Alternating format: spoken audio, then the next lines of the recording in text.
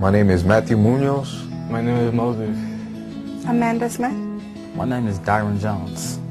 My name is Jennifer. Andrew Tibbs. My name is Devin Menendez. My name is Vladimir Menjavar. I am Sarah.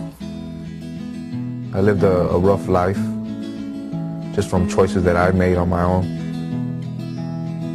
I was a housekeeper. Life slapped me in the face. I came here as a refugee. Trying to do everything the shortcut way. Kept wanting me back in jail. Then I had to start all over. I couldn't graduate from high school because I had to take care of my brother and my sister. I just didn't like the way things were going for myself. You know, I was just trying to reroute my life or whatever for the positive. Then when you come here, you just open up your mind to so many more things. I love this school. I love the people here. I love my teacher. I love everybody.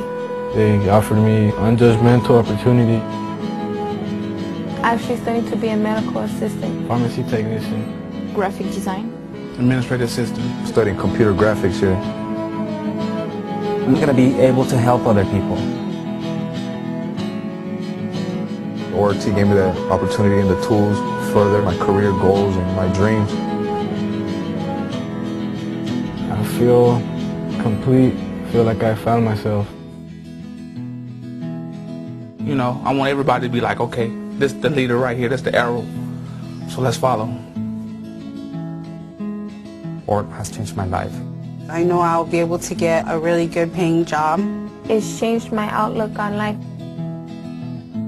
As a matter of fact, I still do graffiti art. I just do it for money now.